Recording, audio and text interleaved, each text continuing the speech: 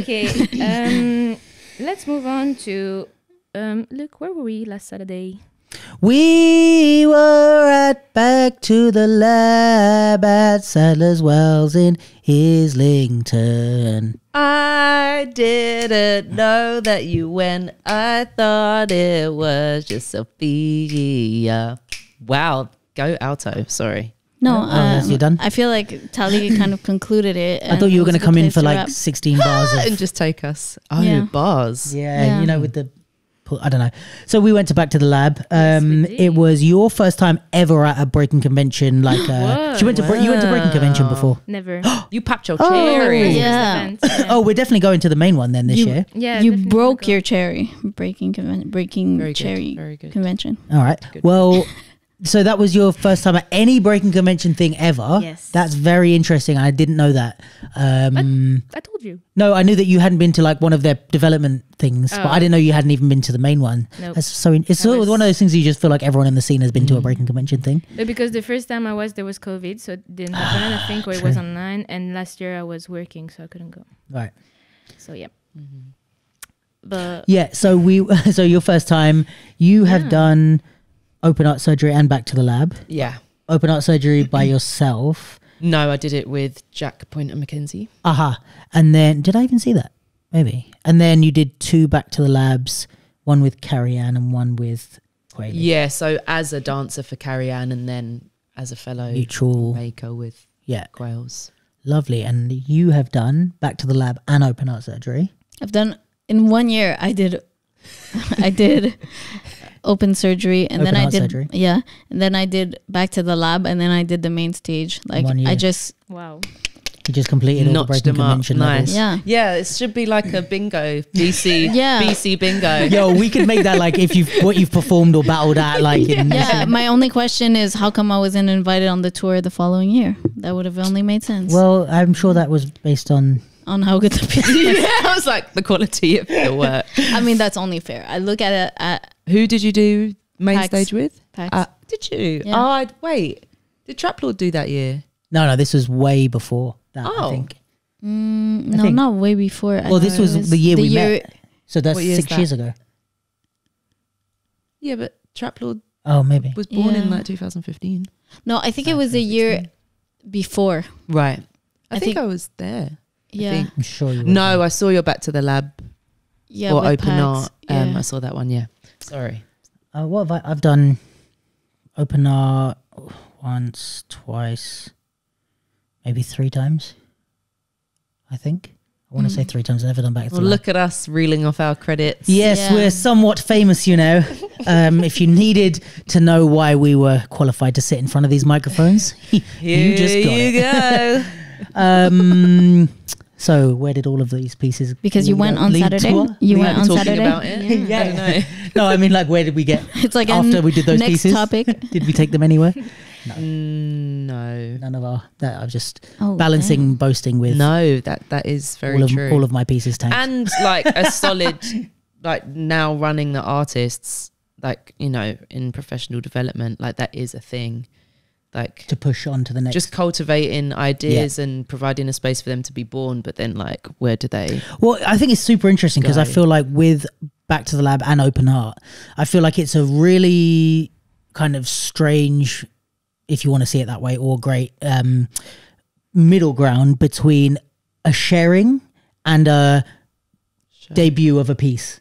Yeah. So it's like on one end you could look at it as like a sharing like we would usually have in a studio or something where it's like here's what we've been working on in our R&D or our creation for, Yeah. for a week or two weeks everyone come and have a look at it and usually those would be a lot smaller and a lot more like we all just kind of come into the studio Informal. and yeah, Yeah. informal and you you don't even really have seats or there's no lighting or anything like that right or you could look at it as the debut of a new piece right which is like That's finished. that's finished and it's like oh here's my new piece and this is me showing it to all the people i want to invite and uh i don't know programmers or whoever you would want to invite to that and then it's like from here now we're going to start this is the start of the piece's journey and obviously it's going to be developed and you're going to apply for funding and get more way uh do more work on the piece to build it but this is me saying here is my first go at it kind of thing right and i think back to lab and open art sit right in the middle of that thing because it's not one and it's not the other. Well, it's, it is and it isn't both. You know what I mean? It's like we kind of have just threw this together in a week, but it also is me saying, "Here's the done piece." You know what I mean? It's Yeah. Well, it's kind of a sharing with production value.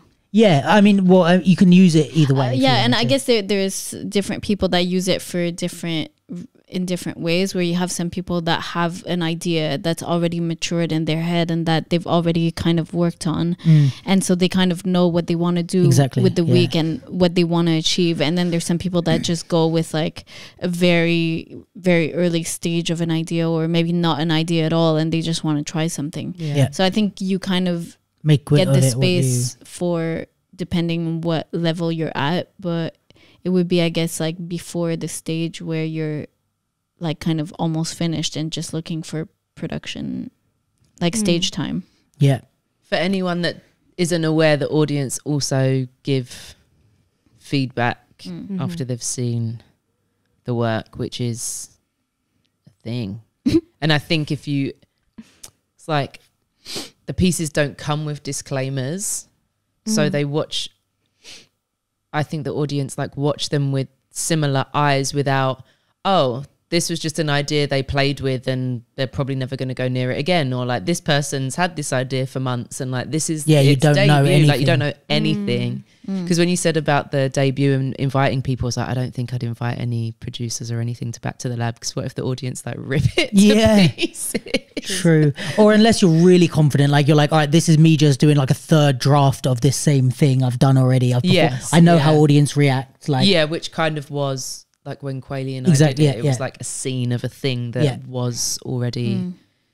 in existence. yeah, Yeah, it's I haven't been for a while, but the aud- like that part of it is can be intense. it can be intense yeah to be in the audience for and to be on the stage receiving i just think it, it can get it can get really a lot es- especially it's like with informal sharings generally all the creatives involved have invited those people so they Yes. want those specific people's opinions where back to the lab is cheap but the audience have paid to be there and they know what their role there is and like that can really be amped up in parts can't it Yes. And I think the other thing that's worth mentioning on that is like, if I invite you or invite Jen, whoever, to come and watch a piece that I'm like doing as a sharing and I want you to give me feedback, A, like you said, I've invited you because I want your feedback, but also B, there's a certain level of like, you have experience giving feedback.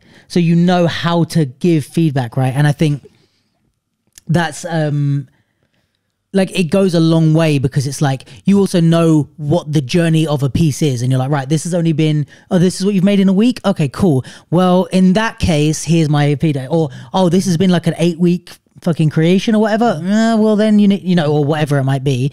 And it's also like the difference of you might let's say if you you come in to watch my piece you might watch something not completely like not understand it at all but then ask me um oh well what was your intention? Okay well then if that was your intention i'm not getting that but maybe we can help you. Like you're giving me feedback based on things that Yes. can help my development of the piece. And i think my only not criticism but it's just something that i don't like about the open art or, or back to the lab feedback from the general public is that they sometimes and it's kind of part of the charm of it i guess. It just depends. I've just been in the shoes of an artist on the stage and i haven't so much loved it. Where they don't know how to give feedback necessarily right? And what ends up happening is that people take it as a like um almost like a fun like can you te- tell us your thoughts about this piece which is fine if i'm standing next to you in a gallery and we're looking at a pen. I'm like well what do you reckon that's about? And you're like oh i reckon it's about this. And then i'm like no i think it's about that. But when you're doing it to the artist who's just spent a week creating it and you're saying well you know i see a really like deep dark struggle with this and you're like you're or you're trying to get something positive across and they're like yeah i just you looked so in pain and you're like you know or something like that or it's like completely the opposite or, or you're just saying something like um i don't know the way- I'd way like to see you go more down the road of yeah whatever. and there's also a touch of like it's the sometimes depending on who's in the audience it can be their time to shine in the sense of like i've got a mic. Like mm. let me tell you how i know how to dissect theater. And it's like well the intricate themes of the third act were really like present in the book. And it's like it, it re- and it, it sometimes feels like there's there's people and A bit you know of self indulgence. yeah, a bit of a self indulgence, and I think that's normal and natural, and it happens when you're just an audience member, but you get given a mic to speak in front of everyone. Yes. and we're performers, so we're used to quelling that part of us in order to give real feedback. And I think once you've been once and you know what it is, Yes. it all makes sense and is yeah, there's nothing wrong with any of it. No, but I yeah. think when you haven't been or don't quite know the nature of what might come back, like it is a bit of a, a shock to the I think you definitely have to be prepared for those type of things. They're not. I mean, it's also I think it's a bit. um what do you call that? Disarming because like the breaking convention team are so friendly and nice, and it's like you go and you see Jonzi's like big smiley face, and like Michelle's super helpful, and everyone who's there is always super lovely to you, and you're like, what? This is gonna be a breeze, and then you're like, holy shit, this was a tough fucking week. You know what I mean? Yes. It's like Yeah. it's not. It's it. You do need a bit of a like keep your not keep your walls up, but what's the word like? Keep a bit of a thick skin with it. It's it's going to be a tough week. And I think it's similar to.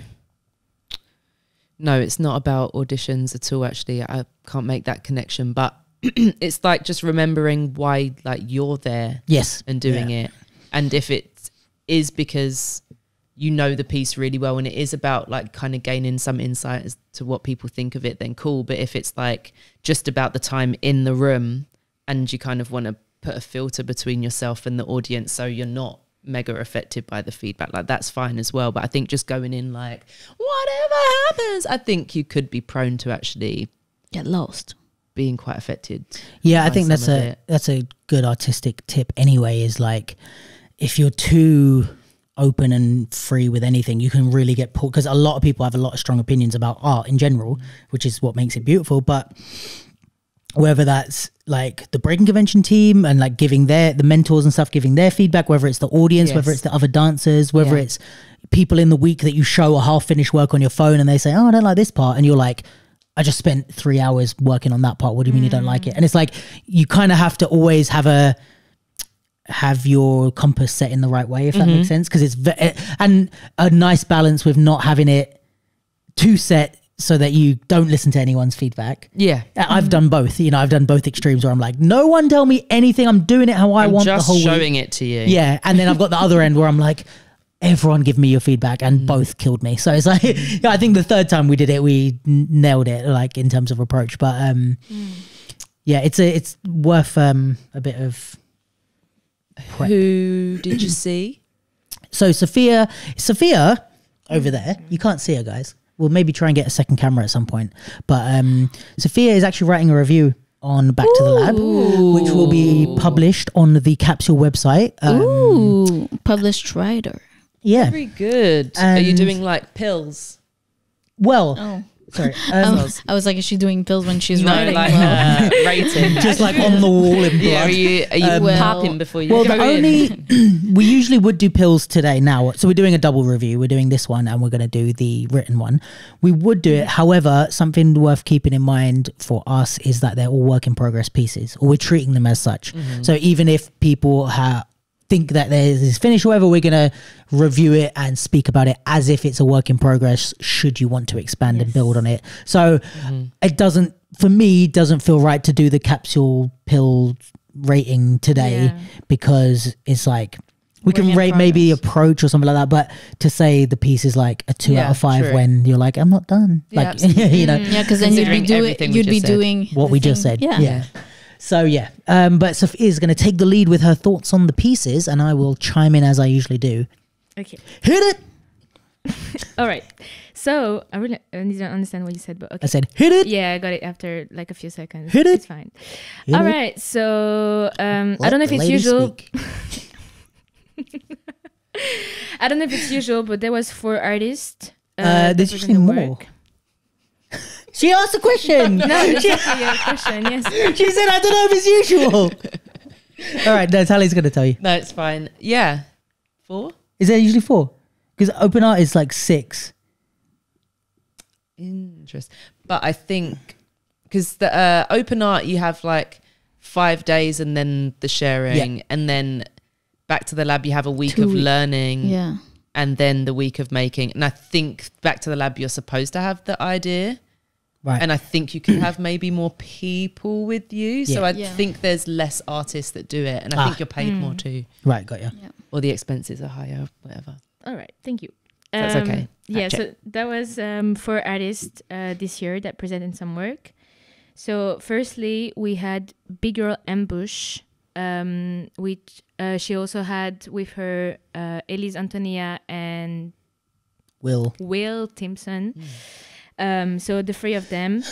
uh, so she created a piece about her the her journey with eating disorders, which was really interesting, I think. Um, so in her piece, uh, Elise and Will were supposed to represent the disorders, and she was representing herself. And um, throughout the piece, we see how they both come and start control her and have an influence on her, and how she fights it. Um, I think it was really well done. Like not only with the dance because um, they also use the lights with like like some sort of color code Mm-hmm. which like like the piece starts and um, the two dancers are on one side of the room with like some kind of purple light on them or she's on the other side uh, in a more white light and then it kind of comes together and she ends up being in a purple light so like it kind of reference also that like her um their how do I say that like her their grip on her if that makes sense Mm. um and yeah i feel like it was super strong like they had super strong musicality and like their style was super unique like each of them could really we could really see like their own style which was really nice It's a nice contact work in that piece, actually. Those are the moments that stood out to me. Is like it almost like surprised me. I was like, oh, nice. yeah especially the music was edited with like it like we kind of all knew the song but then like the edits Mm. like comes in the little sounds and we don't expect did it that, didn't he? Simeon Campbell did the music, I think. Ah, that makes sense. but yeah, it was yeah, I really enjoyed the music. Um, and uh, so throughout the piece, she tries to liberate from uh, to liberate herself from the the grip uh, of the two dancers, and uh, yeah, she manages to do it. And like, there's some spoken words that resonate in the room, um, explaining like how she feels about her body image. Uh, and that's only later on that we understand that she when she said that um, the piece was actually about eating disorders Mm. so we don't actually understand like specifically eating Right. disorders in the Somebody piece. nailed that in the audience, though. Oh, really? I don't Like, know if they, they sabotaged her and it was like one of her friends or something. But like they were like, "Oh, what do you give us?" it was like, "What do you think this piece is about?" or something. Something, something, eating disorder, something, something. Mm. It was like Interesting. nail on head. Did like you get that from no, it? I don't think. I don't think you're supposed. Like as in, I mean, you, if the, no, if she hadn't told me, would I know that that was about an eating disorder? No. yeah, no, like I wouldn't know if it's specifically about that, but it would have popped in my head because she Oh, talks yeah? like in the spoken words, she talks about her body, like Right, image, okay. and now she sees herself. so it could have been like many topics, but Mhm. like that could have been one of them. Especially I like yeah, sorry, sorry. I also have like um, I don't watch pieces trying to figure out. I'm more About. Yeah, I'm like if it it's more like I take a Hmm. passive in terms of narrative. I take a passive. If I see a narrative, fine. Otherwise, I'm concentrating on like the dance and the the other Mm. aspects, which I enjoy just as much. Like I could watch a whole piece and not have it be narrative, and it's still yeah, nice. So I'm like, if I get a narrative, cool. But I'm not like, what do I think this is about? You know? yeah, yeah, yeah. But also, I think her spoken words really helped because Yeah, she didn't speak about her body until the very end. So it could have been literally about anything. It could be like bull- like bullying or Yeah. like any other kind of topic or there's some sort of discrimination or whatever. So I feel like it was cool that it was kind of um, open to interpretation. hmm yeah, but yeah, I, yeah. I also like that she mentioned that it was about eating disorders and like it. It weighed. It, I think uh, when the moment she said it, it made it uh, way more personal. yeah. I think it Um, is good to have a like a little bio or a little supporting Yeah, definitely. something. I feel like I was speaking to someone else about this, but I feel like the either the bio or what you'll write up about the piece that you're about to watch, especially if the audience are given the programs. Yeah. It's like if you consider it like part of the piece is what people have read, then I think it's a it's because some people are like, oh, I don't know what to write about the piece, and it's like I went to Black White Grey, Mm. and it's like oh, all they had in the program was just like a little poem. And it's like it doesn't have to be that you necessarily explain it or whatever. It's just like if you consider this piece of paper as part of your piece, like a, how you're going to prep the audience. It's like, what do you want them to know? It can be a full on explanation. It can be just like that one. It could be statistics about uh, eating disorders, or do you know what I mean? It's like Yeah. it's just something that you want the audience to get before they, Right, yeah. like a little appetizer before the thing. And I think you can use it in nice ways. Yeah. So but yeah. also, I like I like the fact that we figure out after. yeah, exactly. Yeah, or maybe you don't want to give them Yeah. exactly So you after. have your own interpretation, and then it's like, oh, it was actually about that, and you're like, oh, okay, that makes sense. Like, it's really Mhm. cool. I like that.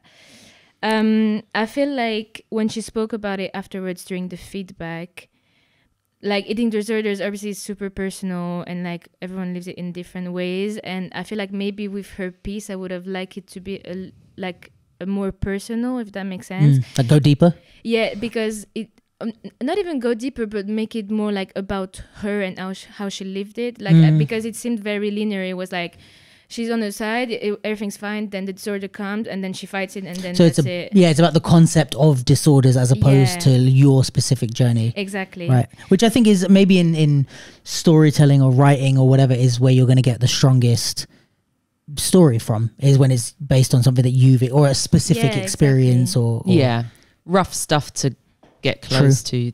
Though. True. I mean, yeah, it's even a rough thing to choose in the first place, Mm. Yeah. regardless of. But I think I think um like just generally speaking about the the topic of the topic of of like picking a, the the A topic. Yeah picking a theme for a, to- a topic i think in one way picking something that is really personal makes it really difficult to approach and maybe to even like especially in a context like this where people are going to watch it and give Mm. feedback and you know i think maybe the an impulse as an artist is to like speak to something that you know so speak about something that happened to you. But i think that sometimes that can be challenging even in the process of making Mm. where you know maybe it's harder to detach and look objectively at what you're doing if it's all wrapped up in especially something like super emotional or Yeah. super difficult or challenging. But also i guess it might be a good way to confront it and come to term come to terms with it. But i just think it's a really difficult uh, thing to to not or it can be a, a difficult thing to navigate Yeah. and then Yeah. on the other side i think that having like you know a gen- a very general like like oh the environment or the climate crisis Yeah. might be like well there's nothing mm, pers- like there's not much that's personal and it's just like a general thing so maybe it might lack some emotional pull so i not to say one is good or the other or some sometimes it's like you can pick a story or you can pick a story or a perspective that's uh specific but not yours Mhm. you know Mm. like companies that explore you know that r- like do interpretation of like old myths or Yeah, true. stories so i think that in picking those topics or the what you want to work on or like grieving for example where it doesn't have to be about when you lost your parent but it's about maybe like the process of grieving or something like Yeah, that. but I, I would say even with those bigger topics, you still need to cr- tell a bit have more a, of a a specific. perspe- like yeah. have a, a specific perspective or be informed by something but i think it's just interesting um uh to yeah to think about how people choose topics and the challenges and the positive things that come with that but This is something I, I just realized I see a lot in the UEL sharings. When I go and do the third year sharings um, with their pieces, their their topics are very vague, and I think that's that's often where I I didn't realize. I'm gonna say it now that I'm because I've, I've got I'm going to your ones I think in Huh? March, whenever they are, but March. it's like yeah, people will be like, oh, it's a it's the topic is anxiety, and it's like what about anxiety yeah, that's a that's a big old. and then when they struggle to approach it, it's like because your top your topic is like super vague, vague, like yeah. so that's really hard to nail down. Like, and then you get this kind of.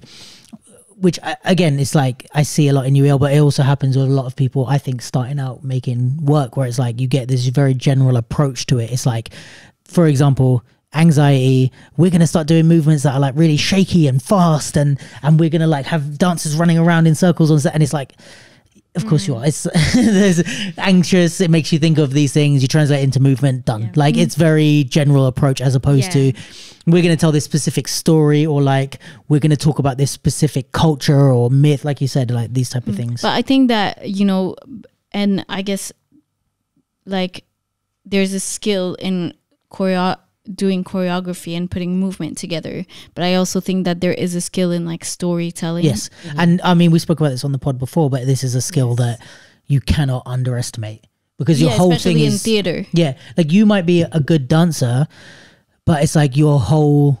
I mean, ra- let's say rappers might be good rappers, but they still get people to write their hooks for them in the choruses and stuff. So it's like if you're a dancer, you might be a great dancer, but you might not be good at storytelling, and you can't just be like, "Oh, I'll do it." Oh no, me and Abe spoke about it with acting.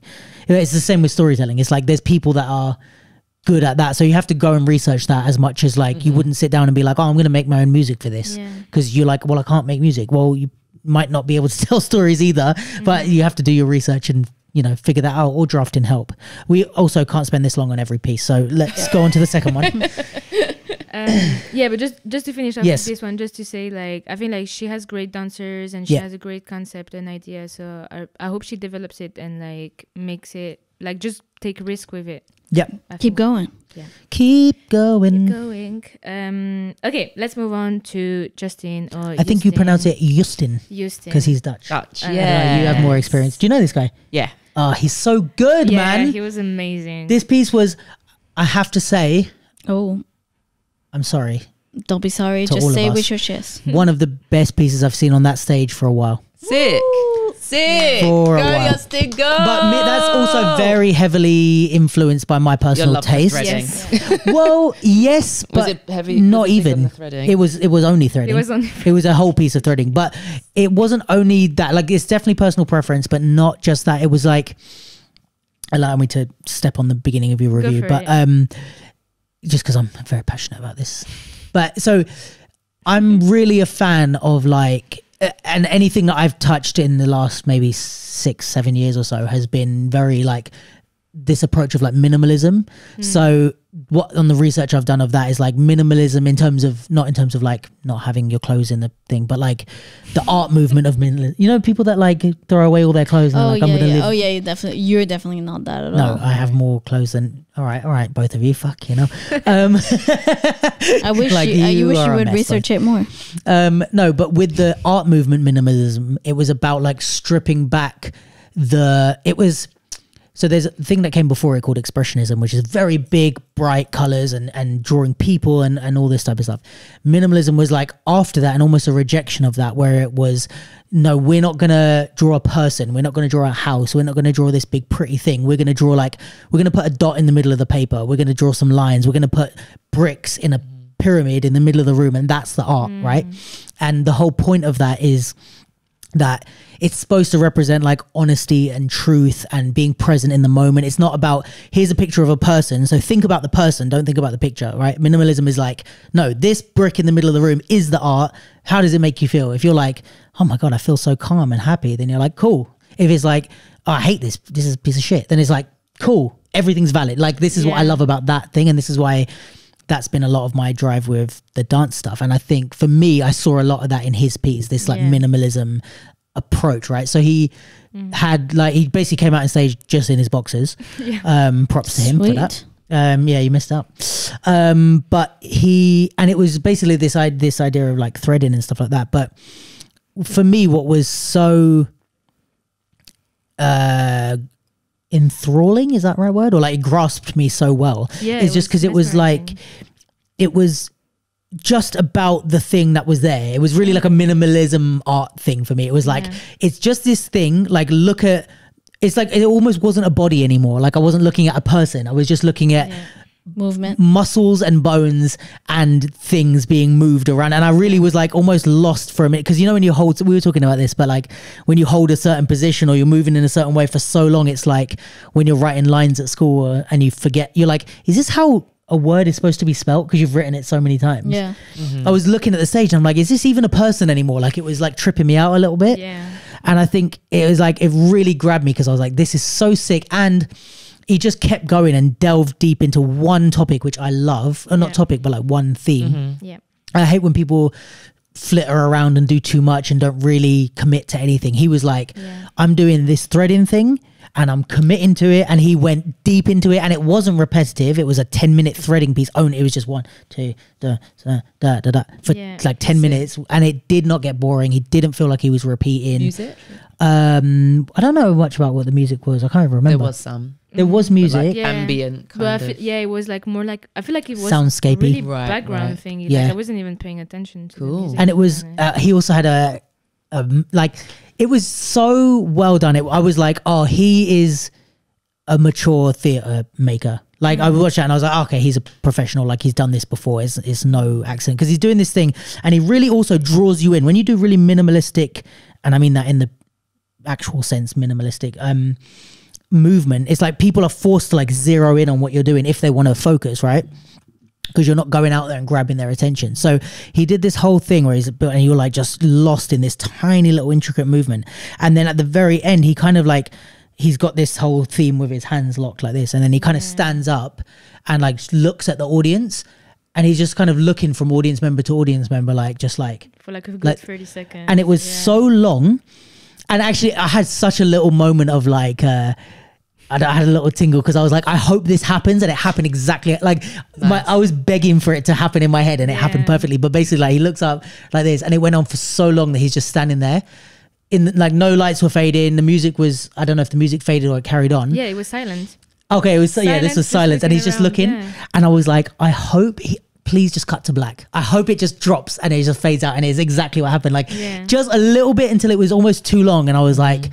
This might not even be the end. This might be the Right, start of a new section, and then just all of a sudden, boom, cut to black, and I was like, oh, yeah. but did you realize because I didn't real I watched the tech like a few times because I also went to the tech runs to take some pictures. And Yeah. um like I only realized after the third time watching it that he- he opened his hands in the end. oh, before the I lights. Yeah. wondered. I, that's what I, really thought you were going didn't to realize. say. And then like I watched the last tech run and I was like, oh my god, he opens his hand. It's crazy. Yeah, that was really cool. I love that piece. yeah, it was really, Yeah, really Okay. loved really it. interesting. Very good. And he's um you carry on speaking and I'm gonna I'm gonna look up, look something up before I say it He is a to save myself for editing. Go on. yeah, do you have any more on that? Yeah, I wanted to say something. Oh yeah, and also it's super funny because in the feedback session after he said that he didn't have a storyline. Like he was just playing with the threading, but Mhm. he he didn't have anything in mind. He just wanted to like play with it.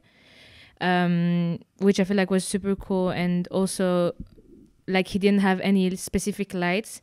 It was just it started really dark and then just went brighter throughout, but there was no spotlight, nothing. It Okay. was just like One just a cold yeah, exactly. Just a cold light in, Which in the room. this it was such a me piece. Like ah, so good, Yeah. so good. But I'm really curious to see like if like if he if he actually created some kind of storyline and like build with the lights if he had more time to like develop it. Right, You know if what- would with have. the lights would be so sick. Yes, lights I think would be really cool. I love good a good like use of Light lights design. in a piece. Like I loved your um mum edit more Oh, for that. W- was it at the place Yeah. with the boxes? Ugh, yeah. just really added so much to it. But I think with his, um, because Jonzi had asked in the feedback, had said, "Do you think it needs a story, Right. or were you okay with it not?" And I wonder if that was a because often Jonzi will do that where he'll ask a question that continues from the process. Yeah. So I wonder if that was something that they had gone back and forth about. That Yeah. maybe he was, maybe Jonzi was like, you might not need a story, like it's fine, or whatever. I would be an advocate to say it doesn't need a story. Mm. Like you could make that into like a thirty-minute piece or, or something without. I mean, you need narrative structure to the piece, but in terms of a like well. It what needs it's about, Yeah, I think it, it's like whatever it is, even if it's just a piece that's about movement, period. I think it, there needs to be an arc in Yes. in the movement. well, this is where I see the difference between like structure and na- uh, structure and story. I don't know if you see that to Mm. be two different things or not. well, I mean, Like there's a structure to a battle round without there being a story. You're not saying, "Oh, I'm a guy Yeah, who yeah, did this." no, but I I- yeah, I agree. Meaning, like, I think like a structure, a story has to have a structure, but also if it's just movement, I think like, uh, well, I think anyways, a piece in a theater. Like it's all about maintaining the tension between the performer and the audience.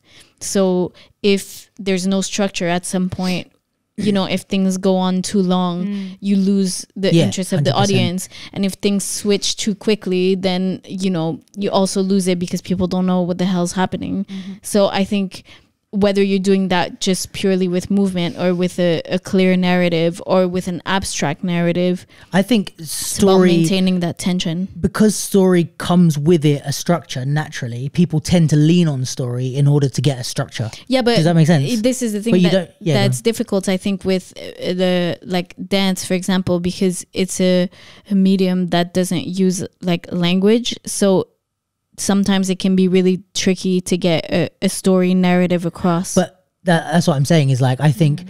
I would always be an advocate in my own work for using more structure, and I, I don't like using story, right? Like in Yeah. terms of like this is a character who did this, but I think people when they're faced with I don't know what to do, but my piece is a mess, or this is just Mm. a bunch of movement. They lean towards, well, let's make it into a story because when you try and tell a story, even if you're failing at the story aspect, you're still there's a way maintaining the structure. out of it yeah Yeah. So you're like, oh, this is the beginning bit, this is the middle, and it, even we feel that, but also what we don't feel is when at the end when you tell us, oh, this is the story of like whatever, and then we're like, Yeah. oh, I didn't get that, but you got the structure out of it. So I Mm. think a lot of times people maybe want structure and take story instead.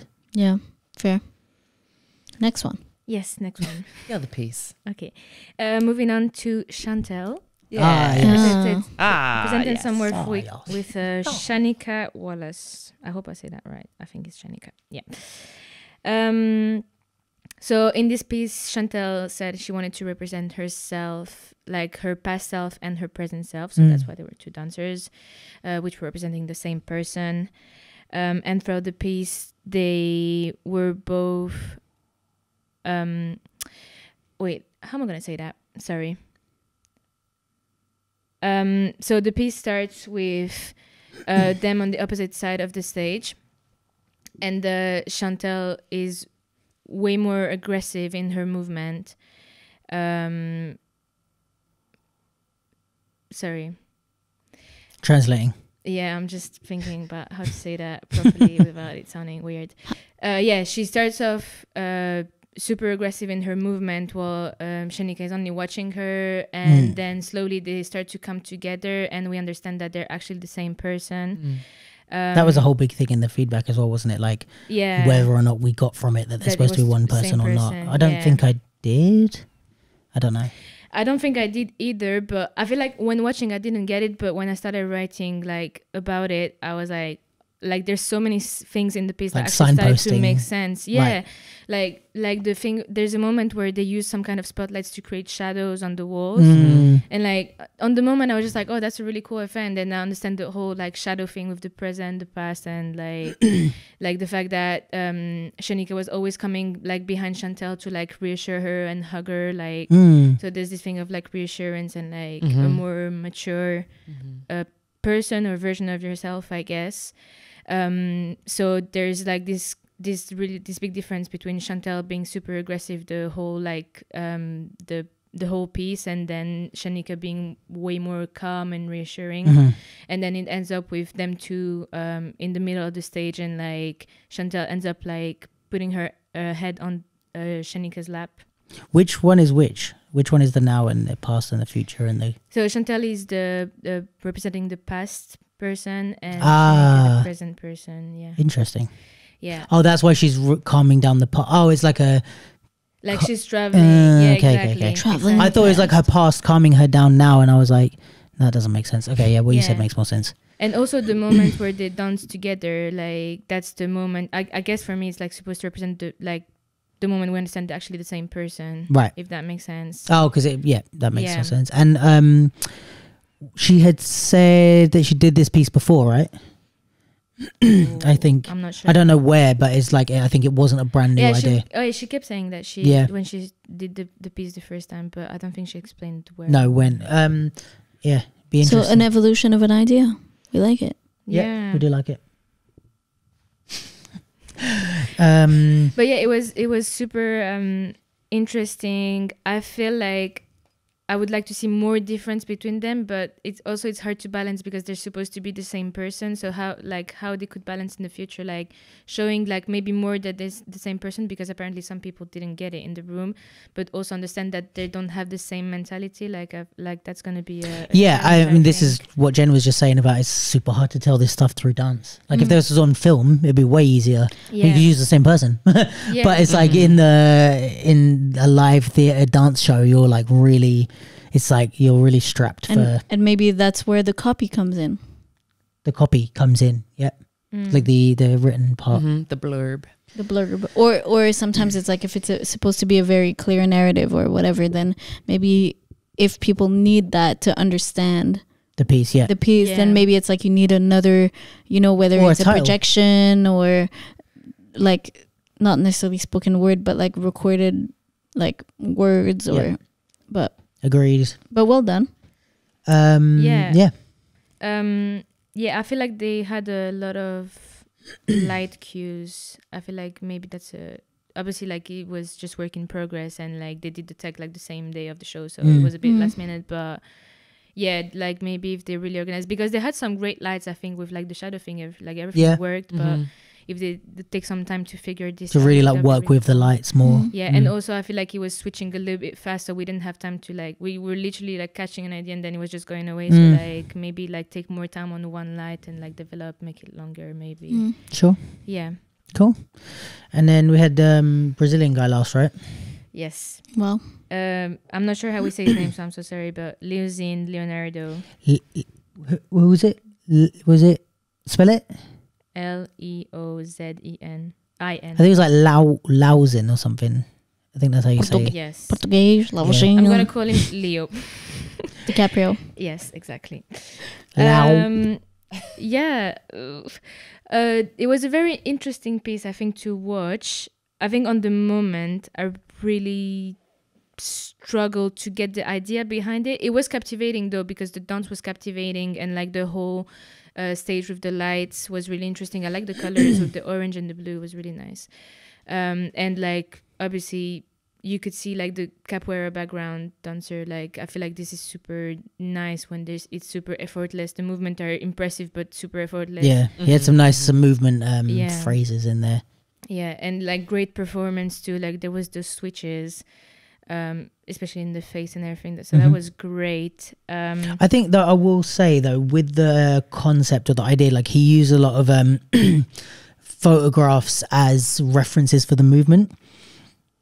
And I think that's one of those things where it's like it's not a narrative concept or a lot not something that you can get or not get if you know what I mean it's like he Yeah. just created movement it sounded like he created movement just as inspired by these pictures which he didn't show us. Yeah. So I think all we're left to do is to look at the movement. So it's like yeah. it's one of those that it's like if you don't get something from the movement you it's not necessarily a negative thing. It's just Yeah. like Hmm. it was what it was there and you take what you take from it but it wasn't supposed to be like a yeah something that we're were supposed to get something from yeah it. not something that Mhm. we were supposed to understand or Yeah, definitely. And uh, I think I also I was a bit disappointed in the feedback because obviously like he like his English wasn't like really like he couldn't speak really well.